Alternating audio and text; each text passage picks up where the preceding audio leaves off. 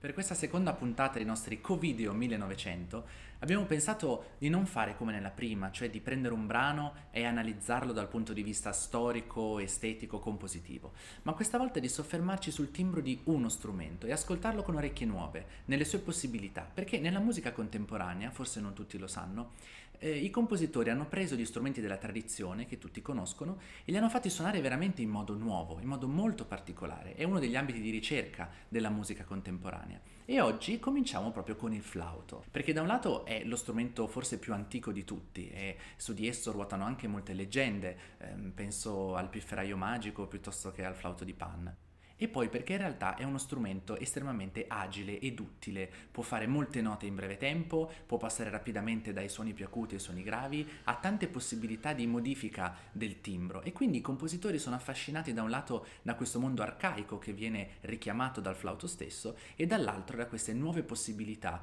che hanno di fronte. Non vi voglio svelare altro, ma eh, grazie a Giulia Biffi che in questo momento è segregata a Genova e grazie al suo telefono con cui ha fatto le registrazioni possiamo veramente entrare eh, nel suono di questo particolare strumento come credo non l'abbiate mai sentito fino ad ora.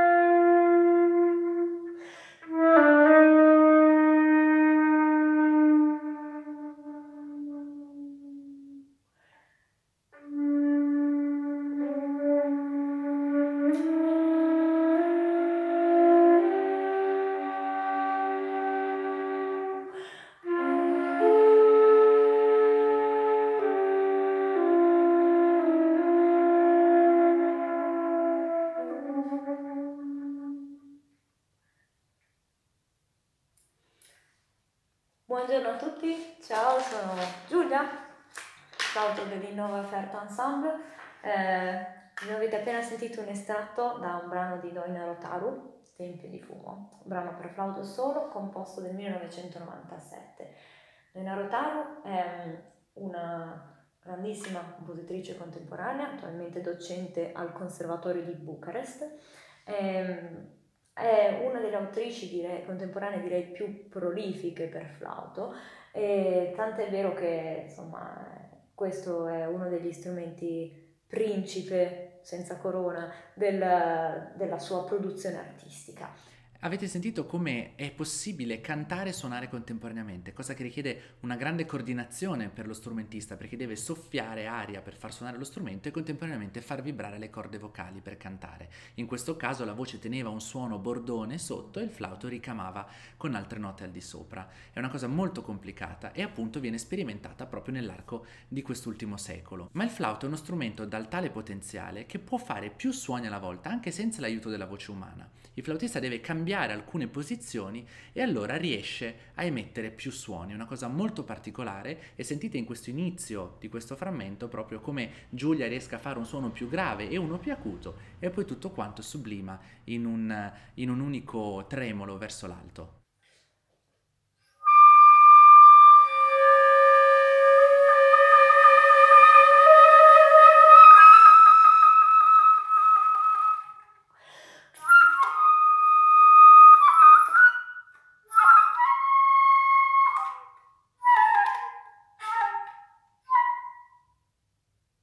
Quando un compositore scrive per uno strumento piuttosto che per un altro, o per un gruppo di strumenti, si scrive per oboe, per percussioni e viola, per violoncello e pianoforte, ci deve essere un significato. Abbiamo chiesto a Giulia, secondo lei, come mai Doina Rotaro, per il suo Tempio di Fumo, ha scelto proprio questo strumento.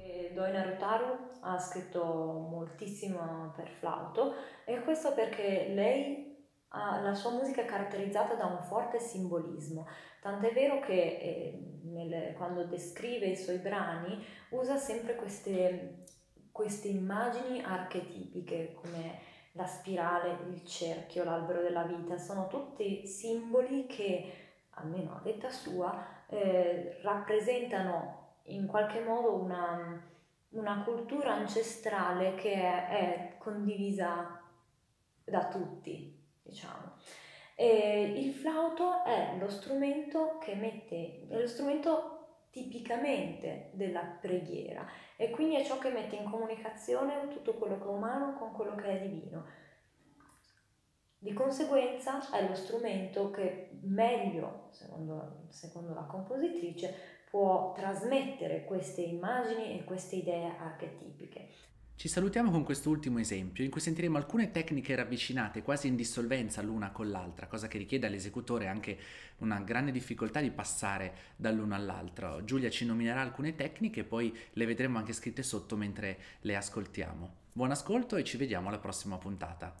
In tutti i nuovi brani per flauto, per flauto in generale, non può mancare un jet whistle e Doina Rotaro fa un uso interessante del jet whistle anziché usare quello standard che tutti conosciamo, che è quello in boccatura interna,